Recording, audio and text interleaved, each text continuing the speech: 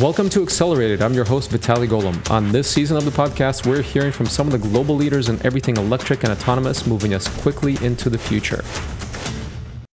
On this episode, I speak with Robert Falck, the co founder and CEO of Einride. Based in Sweden, Einride is the first fully electric, totally autonomous transport vehicle to operate on public roads in the world.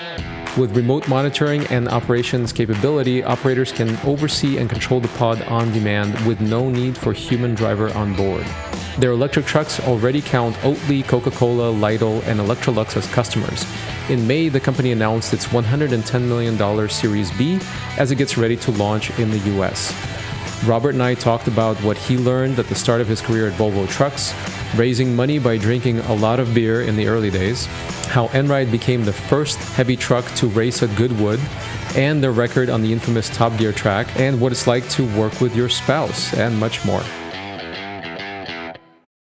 Robert, thanks for joining Accelerated. Um, I've had the pleasure of knowing you for for a few years, uh, almost from the beginning of the company, and uh, have have watched uh, you do great things and, and make great progress. The company is now five years old, so congratulations on everything so far. Uh, very much looking forward to the future. But where I wanted to start is, um, you know, for our audience to understand a little bit about how you got started in the automotive industry. Uh, for me, it was uh, we come from a long background. The university that uh, I studied in has uh, really been a hub for a lot of automotive industry in North Europe, and Volvo is literally synonym with the university that I went to. And after I ended up in uh, working from Stanford when after my studies, and I got to meet one of the founders behind other big, so to say visionaries behind Volvo Cars that now lives in Newport in Los Angeles. And um, he literally introduced me to a lot of the, so to say, how it is to work in automotive industry. He also gave me the best advice I ever got, and it was to if you want to be good at something, you have to know something. And that really inspired me to go back and really to learn something. So I started uh, as a production engineer on the floor, literally putting together um, trucks from scratch. So a lot of literally putting trucks together. That's how I ended up in the automotive industry. And you probably learned a lot. I mean, Volvo is uh, one of the most dependable, you know, one of the stalwarts of the industry, and uh, you got right into the kind of the heavy side of it. Um, yeah, most people probably don't realize how big Volvo is in the trucking business. Talk a little bit about kind of the, the trucking business in general and what you learned in Volvo. No, from my perspective, just that I think that's uh, something one of the most fundamentals is that in the cars side, the cars is literally give and take like for uh, four trillion dollar industry. That's just the cars industry. What people, most people doesn't know is that the transport service market is just as big. It's just the difference is that the trans- the hardware part of it is just like ten to fifteen percent of it. So that means that literally the transport mm. service market is a huge market that rivals actually the passenger cars uh, market in size. So for me, that was uh, quite a insight that I quite early picked up on was the fact that these vehicles are meant for use and used for providing transport service. And it's it's not a commodity or it's not the same logic as the car industry. And uh, even if a lot of consultants always tend to be, so say, using the same format for automotive for uh, trucking side as for the cars. It's literally two different business models. It's two different uh, games. And for me, that was really what stood out that you really had two different markets. And for me, the trucking space is a uh, little bit uh, of machinery for transporting goods uh, and not really a car. Yeah, quite a different market, and um, I've had uh, Gilbert Passin on the uh, on the podcast as well. You might know him, and uh, he he made switches back and forth from the trucking industry uh, to uh, helping Tesla set up uh, set up the first plant, and now back to the trucking industry. And quite an interesting story, um, quite an, quite an important kind of under the radar for most people. They don't really think about the the freight side of the equation. Um, now, what is the origin story about Einride? You know, how did you get inspired uh, to start the company, and what's the mission? From my side, it's literally ended up in when I where I Stanford, and uh, literally I was I've been known to take a beer or two uh, when the right occasion comes, So it's literally met up with a few of the people that became the Google self-driving team, and we discussed back then. I think it was we were all literally at the party discussing back and forth of how you can make something a car autonomous. That's a little bit how I ended up in autonomous space, and a lot about the discussion what's required and what it meant. And I was quite early on quite astonished with how you treated the whole from an engineering perspective.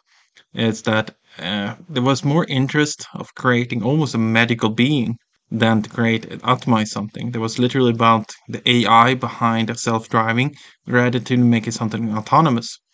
So for me, that was something that I couldn't really come to terms with quite early on. And um, I took that with me during the years when I was in the automotive industry. And um, I'd also came on, been uh, the last part I had that worked when I worked at Volvo was literally running one of the biggest autonomous electric transport systems in the world. For me, that's how goods are being transported inside warehouses in factories. And the main reason behind why it doesn't have really picked up on outside the factories is due to legacy structures and the business model of the existing structures. So for me, it's uh, really stood out that this was a legacy and one of the biggest non-digital industries that were left. And for me, in uh, it was in 2015, I just came to the like came to the conclusion that there there are room for a disruptor here. And for me, it was also a big part of the what why it what worth taking the risk to do this is of course that the freight heavy freight transport industry is between stand for between seven to eight percent of global CO2 emissions and it's actually more suitable for going electric than the passenger cars industry. Yeah, I'd like to come back to that in a second. But um, today, you know, five years after you founded the company, um, talk a bit about uh, how big is the company? Um, you know, what kind of customers you're already working with? Uh, where do you have operations? Yeah, we are scaling revenue as we speak. I mean, we have a plan to quite rapidly um, we had some major milestones on the recurring revenue side, and we are currently 250 people, and we are uh, rapidly scaling.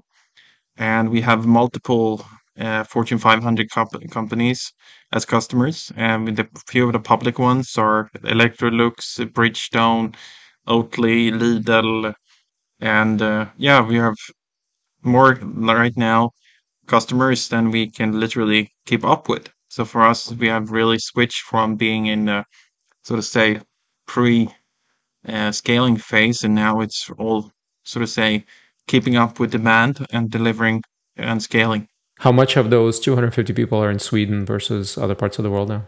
We're closing in on, uh, we will be 40 people in the US uh, before the end of this year and we're setting up a strong US presence. And uh, a lot of our sales is actually booming in the US in particular. So for us, uh, the, we are literally setting up office, uh, several offices in the US based on the customer needs and the customers, both that we grow from the European market into the US market, but we have a lot of big customers. For instance, like the one we make uh, public with Bridgestone a few uh, a few weeks back, and we have several other big ones that are uh, in the the ink but uh, we are not public with yet. So there's a lot of exciting news coming up now. Now, um, Einride has a little bit of a different business model. Uh, you, are not selling autonomous electric trucks, you provide it as a service. Can you talk a little bit about the model and, and how you've come to this versus just selling vehicles? I think it has to do with a little bit of the dynamics of the market itself. I mean, all machinery, the basic ma- math behind a mach- machine is that you have to have the best possible utilization of the, of the vehicle. And the structure of the current market is literally a bit disturbing to say the least.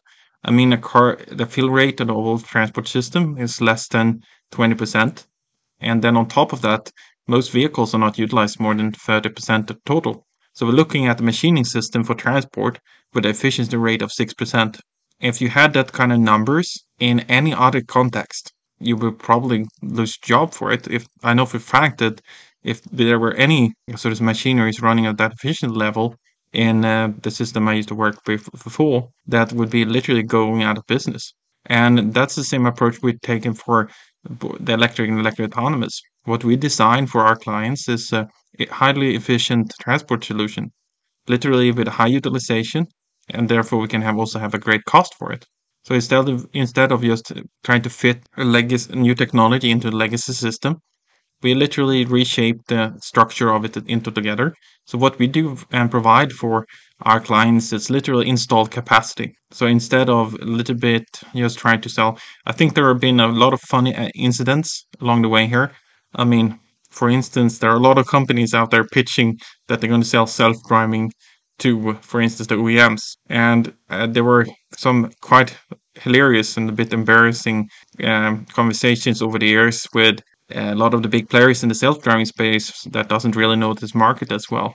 I mean, 85% of all the trucks are owned and operated by mom and pop shops. And are you going to sell self-driving to them? Or are they going to be the, uh, like some bit literally be the ones buying an autonomous truck? And a lot of those kinds of answers is something that doesn't fit that well into the current ecosystem. And that's, I mean, I think that we are literally proving that the business model changes as well. Because, I mean, the traction we have on the business model side and the new market fit is uh, quite extraordinary, to be honest. And it's just that allows to go to money and scale revenue. And I know it's very provocative in these days to actually scale revenue. I think that uh, it's something that we are very proud of. And I think that's also can make us stand out over time. But I think that um, uh, literally with all new technology, and I think it's one of the most important takeaways historically, is that once you get that disruptive technology, the business model also changes. That's absolutely true. Uh, Fred Wilson, um, famous investor, venture investor, talks about collapsing markets. So doing something 10 times faster, better, or cheaper uh, or creating a whole new opportunity that didn't exist before. And, and you're certainly doing that. Let's try to make this a little bit more concrete. When, when a customer comes to you and they, you know, who, who's your customer and um, what kind of process do you go with them to discover kind of what their needs are and what can you offer them? From our perspective, our clients are the ones who have the shipping need. And where we start is literally saying, okay, what kind of need do you have? That's literally, for instance, take it to a big uh, chain of stores. We have a certain transport needs and uh, I mean, the prerequisite for this industry is that you can match the cost. Uh, if you can't do that, you're not in business. So first, we design and develop literally a transport service and a capacity installation that matches the cost structure. In most cases, we can match it or even become more cost efficient than the current solution. And with that, we do a literally three to five year contract for them and provide them with autonomous and electric and sustainable transport solutions for them. And what's that typically like? Are they moving freight within their factory or kind of short distances, long distances? Depends on the applications. For us, we do literally the ones we doesn't do is heavy specialized goods, and we don't do extreme long haul. And uh, so, I mean, there's a lot of discussion of long haul industry or the long haul. Uh, that's a lot of people are discussing. The long haul is between 3 to 4% of the global transport service market. So it's a very niche market, but it gets, gets a lot of attention. Most transports are repetitive and boring and quite short distances. You can just look at the map of the US. If you draw a line 200 miles from any coastline, you're going to cover a good portion of the whole population. And that goes for transport as well. So it's uh, it's a lot of uh, using the basic physics behind it to a little bit tailor the solutions for it. And um, yeah, so we we do literally uh, repetitive and predictable flows and on scale. That's a little bit how we approach it. And where can you already drive autonomously? Um, as for us, it's more of a legislation challenge. And I think that since we don't have a, at all, we designed the system a bit different than others. We started with literally establishing the business, uh, the uh, safety case or uh, functional uh, safety first. So we literally started with literally proving each step and certifying each step onwards. So instead of doing a fancy speed control on level three, if you use the classical sketch, we literally started from to a little bit be able to do the first in a safe ways and then increase the complexity over time. So for us now, it's more of a legislative uh, challenge to get literally that you can't go autonomous without a safety driver because we don't have a safety driver in the vehicle. For the application that we are scaling and the clients we have, we do something we call AT1 and 2. That's uh, speeds up to 20 kilometers per hour because that's something you can get regulatory approval for currently. And that's uh, where we're scaling currently. But when it comes to more highway applications, we are scheduled to start those operations during next year's. Got it. And what do you think is a timeline? You know, there's a lot of hype out there about uh, autonomy on the roads. We know why, but uh, what's your timeline? When do you think that, uh, from your perspective, with with trucking and freight, you'll be on public roads openly with uh, full autonomy? My view is that uh, and what I support is that you shouldn't have a re- uh, regular or like uh, overall approval. I think you should have uh, autonomous approval in certain lanes or certain applications. I think it's a completely different ballgame to go autonomous in complex environment like cities, and uh, the most hazardous is probably rural areas. So I think it's you should have like literally like you have here in Sweden a warning for Moses. You should have literally warning sign for self-driving vehicles for highways for uh, certain roads and so on in certain areas you can have self-driving and i think that's the right approach for it a general free for all self driving application, I'm not a big fan of. That's a very, uh, very uh, pragmatic approach.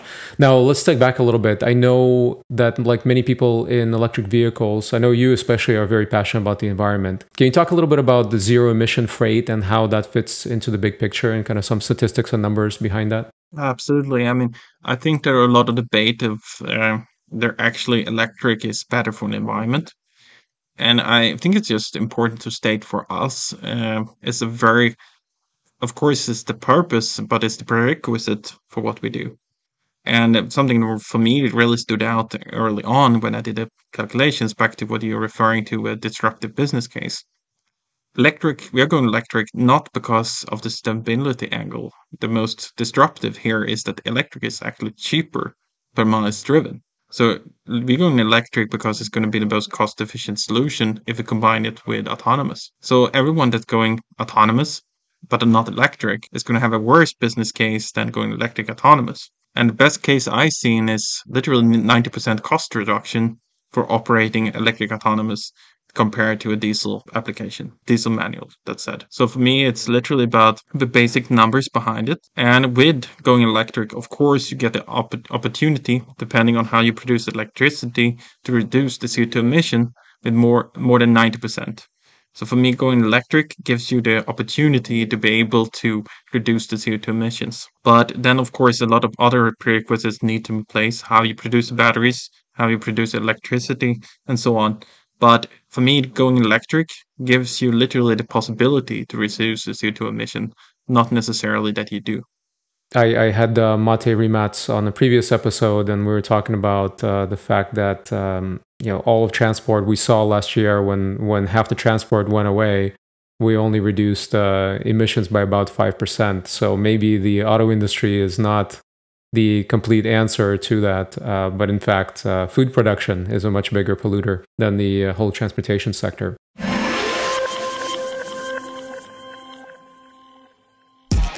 I'm really excited to share something a long time in the making with you. My first online course. Over the years, I've trained thousands of founders through my book Accelerated Startup and my infamous Pitching Like a Boss workshops and keynotes. Like I've done for thousands of founders, I will teach you how to pitch like a boss. And for the first time ever, I will be doing it in a cohort based online course. This is the world's most comprehensive and intensive course for entrepreneurs and future founders on pitching. It will help you craft the perfect pitch for investors and customers. It will also help you master public speaking. Get funded, communicate your vision to grow your team, and dramatically improve sales of any product. Check out golomb.net slash pitching, that's G-O-L-O-M-B dot net slash pitching for more information. See you there.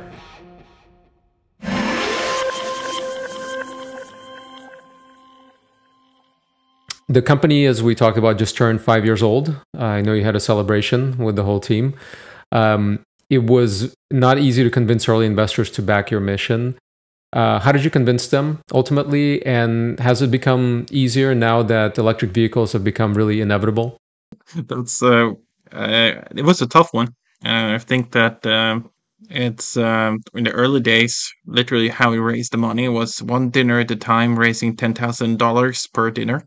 So I think my personal record was that I had four dinners one night to raise $10,000 per dinner. And here in Sweden, if you want to raise $10,000, you have to drink at least two beers. So it's um, ended up being a lot of incredible, interesting conversations and a breakdown to a little bit having the faith in me personally and my co-founders as their uh, in their ability to deliver and that was literally what made us literally raise the first money and um, it, that's how we raised literally the first uh, three million dollars. We did it like ten thousand dollars literally per time, so it was a lot, a lot of work to get there, but we managed to get there.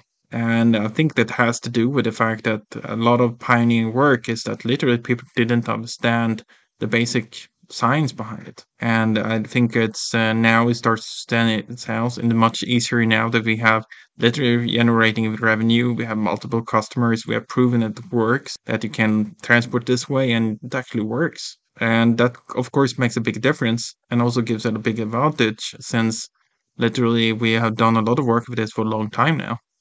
And so now we're literally in a very good position for the quick scaling that will happen in the EV business over the next five to 10 years. And I think it's uh, what really stands out from my perspective is that um, there are not necessarily always um, sort of the, the public opinion or the debate or the awareness of the debate is not always that closely tied to the actual industry or the fundamentals behind it. And I think that's something to stand out. And I think if we go back 2017, 18, everyone in autonomous space were discussing how many ma- miles have you driven?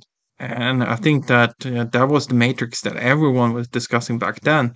And we took a different approach and said, we're not going to do any miles because that's not a good, uh, so to say, choice for how good you are at the autonomous. And that was very provocative back then. But if you play forward now and last, I haven't got a single question on that last year and a half. I don't no one is discussing how many miles anyone has driven because it's poor matrix of how well you're doing autonomous. And I think that's kind of so to say what we're probably going to see here moving forward as well is that a lot of basic fundamentals is going to catch up to people. Because I mean there are a lot of people in autonomous there are a lot of people that gets into both trucking space and autonomous space that are not that familiar with how the dynamics works. What is the fundamentals of the industry? Something i learned over the years is that silicon valley it's not an operational it's not a manufacturing culture. It's uh, a beautiful place but not always so to say how to put it gently. It's uh, it's literally uh, very optimistic uh, approach that hits reality. And uh, it works very well on a software platform or with those kind of models. But when it comes to actually putting hardware and metal together, it's a different ballgame. It's um, different types of skill sets. It's a lot of hard lifting, literally. Yeah, I would say uh, there hasn't been silicon in Silicon Valley in a number of years. Um, all of that's in other states and other countries now. And, and of course, Silicon Valley investors are going for low hanging fruit, which is easier to scale software. Um, but it's been interesting to watch because uh, both you and I have been involved in the automotive sector for some time, and now all these companies, including yours, are getting so much attention um, from the investment community. But um, you know, these are overnight successes that were five years or more of blood, sweat, and tears in the making. So it's it's really interesting to watch uh, a lot of a lot of my friends here um, getting a lot more attention now and getting finally getting the respect that they're due uh, for changing the biggest industry in the world, the transportation industry. So a little bit more fun. Um, you you've had some fun along the way besides the fundraising beers, and I hope you you don't uh, dis- build a distaste for having drinking too much beer. Um, you know, I had a little t- too much tequila once when I was very young, and, and then I didn't drink tequila for a number of years. so hopefully you, you, you're, you're still a beer drinker. Tell, talk a little bit about how you got Einride involved in Goodwood and the test with the Top Gear track. That's actually quite uh, that's actually great and a quite a funny story because when we launched uh, the uh, we launched the pod, uh, we kept keep getting the, uh, like uh, that this weird reach out from the Duke of Richmond like literally a very formal header and like listen so it's almost like those what what's it called that in um, in us is like um, you get emails from third world countries for like asking for money and they claim they're a prince of something or like they use a fancy title and ask you for transferring some funds and so on. The Nigerian scam. exactly. And we thought it was literally one of those because there were literally someone calling that we are um, Duke of Richmond ask for your so to say presence and want to take part in this because I actually never heard of the Goodwood before this. So no one at the team literally know what it was. And that person literally was reaching out and we were like, come on we didn't reply and then we just said kindly like refused or to put it very gently i think that uh, they were not really used to being reacted.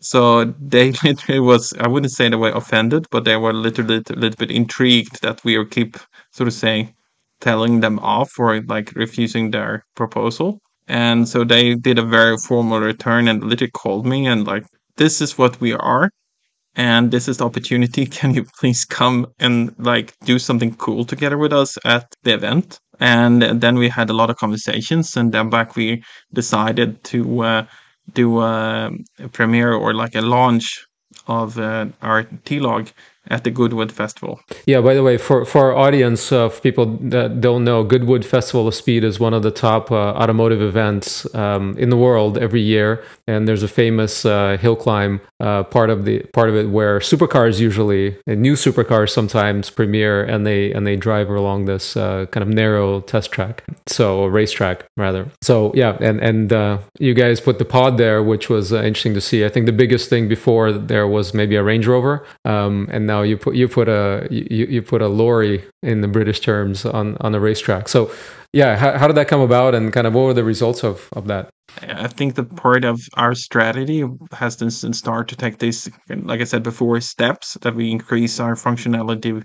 So to say, that's how you do in most robotic systems. That you literally have boxes of functionality that you increase, and you can increase the functionality over time. And that's the same uh, approach we have taken for our system. And the this uh, the downside of taking that approach is the public opinion about the about speed, because when we were the first in 2019 to go on public road with an autonomous electric transport vehicle without the driver in it.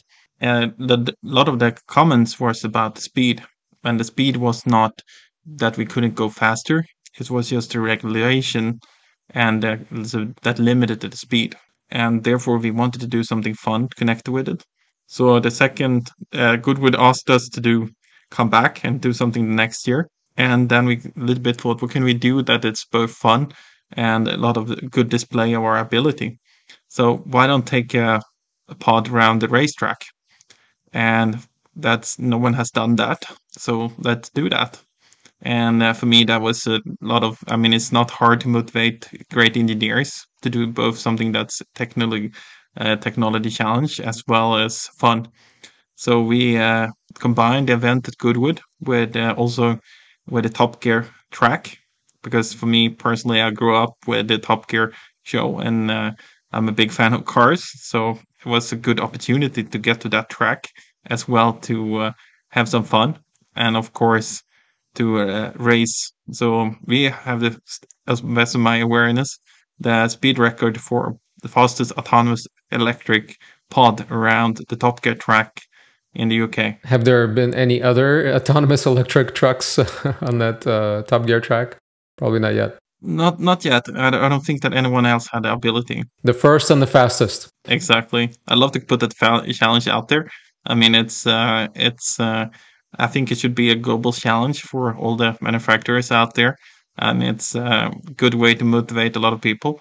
And I mean, back to why we do and why we built this company is because we want to change the industry, and we need a lot more people to help us to do it. So I, I welcome anyone to try and bring it on. It's competition is good. I mean, if you're afraid of competition, you're literally afraid of winning. I, I would encourage everybody to take a look. Uh, you know, look it up on YouTube. Einride Goodwood and Einride Top Gear. Uh, great little videos you'll find uh, very entertaining. So um, yeah, maybe Laguna Seca next when you when you bring it to California. Uh, that that's a little bit more challenging track with the uh, elevation changes. Now, what are the next big milestones for the company? What do you have coming next that you can talk about? For us, it's uh, literally we had some delays due to Corona when it comes to the US launch. We have been working quite a bit with a lot of big clients, but the official launch has been postponed literally a year. So now we have the big launch in the US coming up and a lot of new product launches in associated with it. So we're going to see a lot of new things in uh, the, the launch there as well. So, I mean, um, the future of mobility doesn't stop. It's a constant uh, innovation. So we always love to bring new things to the market. And our ambition is literally to provoke and and see what you can do different. I mean, it's uh, uh, a lot of new things that we can can be introduced and rethought if you just give it some space. And our ambition, ambition is to keep doing that. And uh, me personally, I think it's fun, and uh, it's uh, the harder more people say that it can't be done, the more triggered I get to uh, get and get it out there and get it done. And so we're going to launch in the US and start to get serious with the clients that we have. And we have a lot of cool installations on the way in the US. So for us, it's uh, it's uh, going to be great fun to get more serious about the US. I think that Ground Zero and uh, Showdown for the autonomous and electric space will be the US. And I, I love that uh, there's a pros and cons with the American market, but when it breaks down to it, it's it's uh, home of rock and roll. Home of rock and roll and a lot of trucks, I think, more than anywhere in the world. Yeah. Very good. We'll be looking forward to seeing a lot more uh, of the autonomous uh, pods, and they're very obvious because they don't have a cab, right? Um, so it, it's it's very strange to see this thing driving itself down the road with nothing that where a human could even possibly sit. Exactly.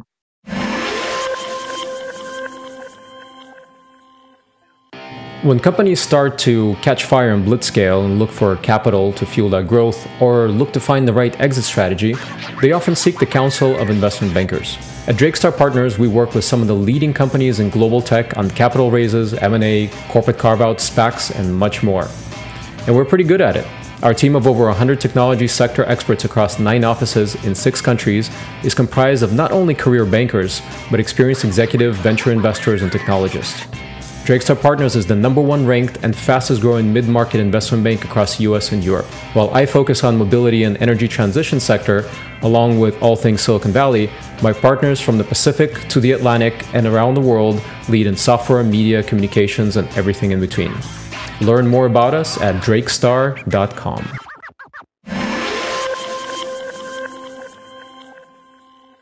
Um, one kind of personal question: You married your co-founder and CMO, uh, Linnea. What is it like to work in a startup with your spouse? And uh, what you what you feel comfortable saying? And um, what's your typical day like for the both of you?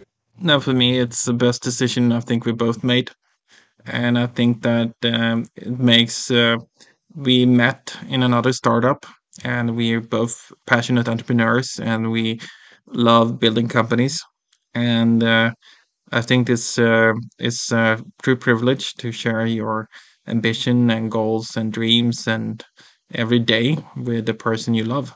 So for me, it was been, I mean, if you're not married to your uh, founders, you literally become married with, to them. So for me, it was, uh, I think that the other side, it's that I think that it's like uh, the founder dynamics is very important for any company and to have literally, and you need to have a strong relationship and a common ambition for things. And for me, uh, I was born and raised in a farm, and where literally all the family they do work together, and that's literally how I, so to say, make friends. That I love working with people. That's something I've done my whole life, and so for me to uh, literally get the opportunity to work with both my best friend and happy to call her my wife um, so I'm just very pleased with it and the most natural thing. And and what's your typical day like? How do you you know you have long days? Uh, we're talking now. It's morning California time, evening in Sweden. Um, what's a typical day like for you with a global schedule? From, from my view, is that being a founder of a company with this ambition, and there's no literally no normal day. I mean, it's I think that to be able to work with uh, your teammates, to literally to get your work so to say, um, combine both work and um, the little bit spare time you get, and the, and to be able to plan that together, it's a true privilege. So for me, it's uh, normally you get up quite early, and uh, and then we happen to have a, a small dog as well that needs to take take care care of as well. But then we go about everyday business. I think the big pros is that you can literally plan your day and you can help to plan together. Since we work in the same company, it gets easier to like we can do a lunch if we'd like to, and um, so it's um, I think it's um, yeah, it's best possible setup for me. I I love how we solved it. I'll I'll have to ask her one day and, and see if she agrees. Yeah, hopefully. Um, hopefully. No, but it's like we. I mean, we have a third partner uh, in uh, Einride, founder, and I mean, it's like I'm not saying that we're married to him as well, but I mean, being founders of a company that's it's it's it's a literally very close to. I mean, in in Word you call band of brothers, but uh, I think it's literally band of founders. It's a very special bond for when you've been through the hell and back together. Yeah, and by the way, very similar to how Eventbrite got started. Right? It's a husband and wife team and the CTO. So uh, that that worked out well for them ultimately. It's actually a very common setup. Yeah, I, I, guess it's more common than, than we, we think. As an investor, it's always been uh, you know one of these red flags. Do you really want to invest in a couple? Uh, because that adds a, another potential fail point. But uh, that's a, a, different subject for a different day. Yeah, it's a fun fun fact is actually that the Koenigsegg is actually the same setup as well. Oh, interesting. Yeah, didn't didn't realize that uh, his wife was involved uh, in there. But um, yeah, it, and uh, also a neighbor of yours, and and in in the uh, automotive industry. Mm. You know, I like to close with this uh, this question always. You know, with with founder CEOs uh, going through this journey is such a formative process for somebody. You know, your your sense of identity is really tied with your company for a long time, and hopefully everything works out well. For for times when uh, more often when it doesn't work out, um, it can be very difficult on people.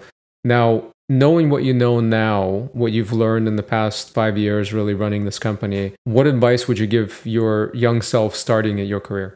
That, was a tough one. Uh, for me, uh, I think that uh, never give up. I mean, it sounds like a cliche, but you're quite often that's what you're judged on. Because, like, uh, and I think there is uh, literally don't trust the experts. It's another one I really like myself. Because if you're doing something right, truly pioneering, they don't will not know shit. Sorry, my French here, but uh, it's uh, if you truly know what you're doing, trust yourself and keep pushing. Mm-hmm. And uh, of course, you should adapt advice and listen. But at the end of the day, be true to yourself and survive. And like surround you with the people that believe in you, and um, also ri- choose the right people to work with and the people that support you no matter what and the people that will be your friends afterwards. I literally have my two best friends as uh, co-founders, and um, for me, that's uh, made a difference. So I literally trust the right people around you and be picky with you who you surround you with because that's going to make uh, all the difference. That's the culture, and and you, Robert, you're an easy guy to get along with. So I'm not surprised that uh, you have such a great dynamic in in the in the company, and I'm sure the culture in the company is is doing great. That was our conversation with Robert Falck, co founder and CEO of Einride Autonomous and Electric Trucks. If you enjoyed this episode, don't forget to give us five stars in your favorite podcast platform and share with your friends. See you in the next one, and in the meantime, you can always find me at golomb.net.